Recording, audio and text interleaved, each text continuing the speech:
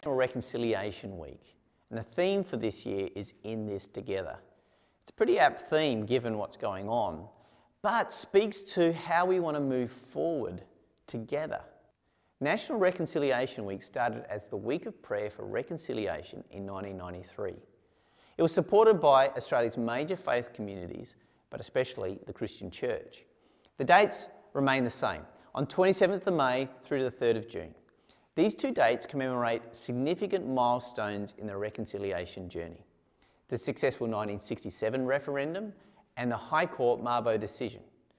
Reconciliation is a journey which we all need to take as families, as communities, as individuals, as a nation.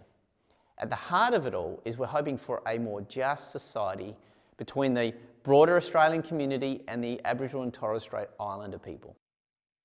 Good morning, everybody. Pretty powerful story from Uncle Clyde Rigney.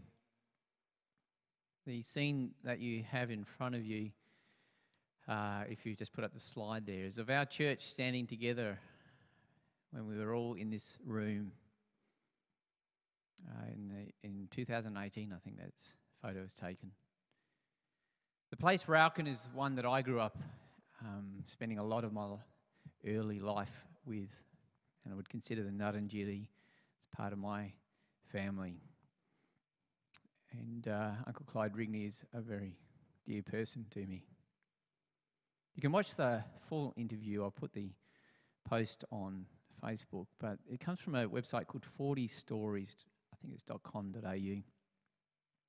And it's got some amazing stories from Indigenous people across Australia, the sharing, uh, believers, Christians. And uh, the theme is apt, I think. We're in this together. This is our nation.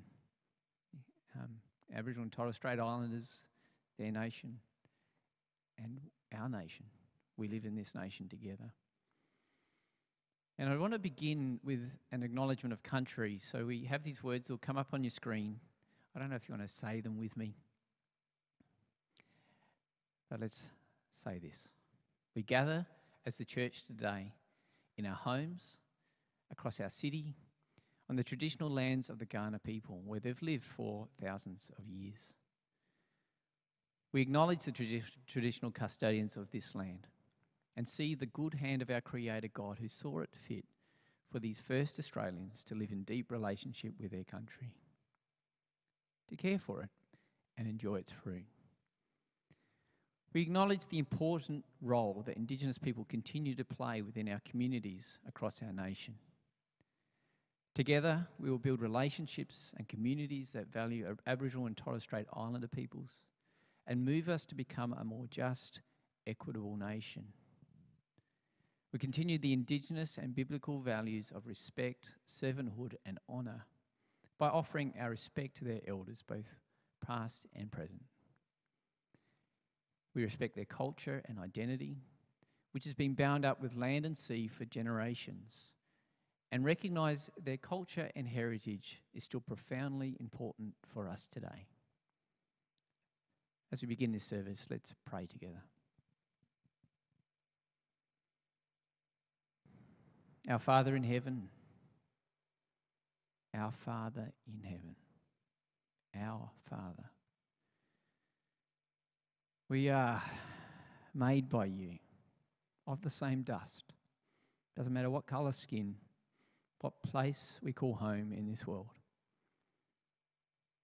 We're all created with one God. And then, even more so, through Jesus, we are brought together, every tribe, tongue, and nation. Brought together not as enemies, not as strangers, but as family, as sisters and brothers with a Father in heaven. These are the roots of the Christian hope for our world. And Lord our God, we want to see those very things expressed in our nation with our Indigenous sisters and brothers. I pray for Raukkan. I pray for their elders. I pray for their heritage of Christian faith I pray that this community, which ta- has great dignity, may keep growing, growing in raising its children, its little boys and girls, to be people of confidence, people that are able to raise their head high and say, We're nut, nut and jitty. And help them also know this Father in heaven that we all share. Pray for that Christian community on that place, that they bear good witness.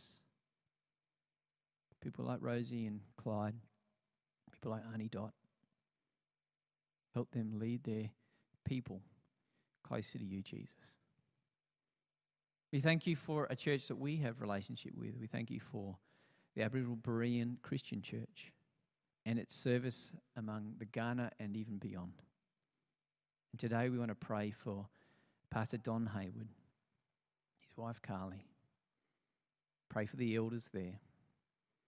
We pray that you might sustain them and keep them in what is a challenging ministry to some of the most disadvantaged people in our state. God, we pray that you might supply their every need spiritually, in their leadership capacity as the young men and women grow up, and financially.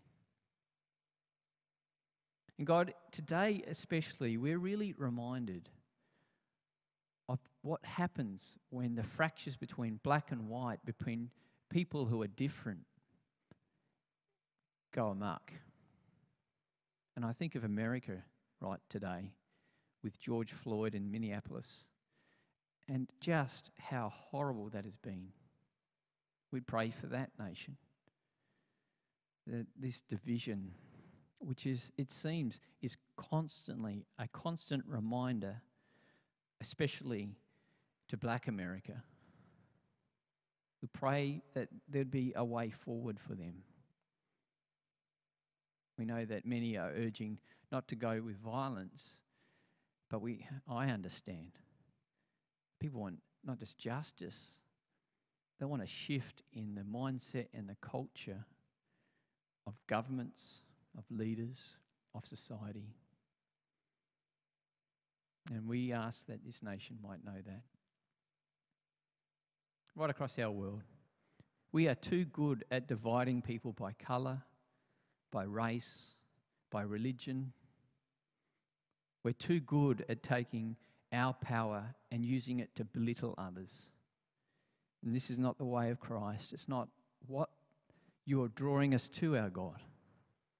As we look forward, as Revelation reminds us, we are going to a place where every tri- tribe, tongue, and nation, every people will bow their knee and worship you. And already we see this in the church right today, across our world, there's every colour, every tongue. And we will wrap our arms around one another and call ourselves family. This is the power of the church, and we pray that we might be that church through Jesus Christ our Lord. Amen.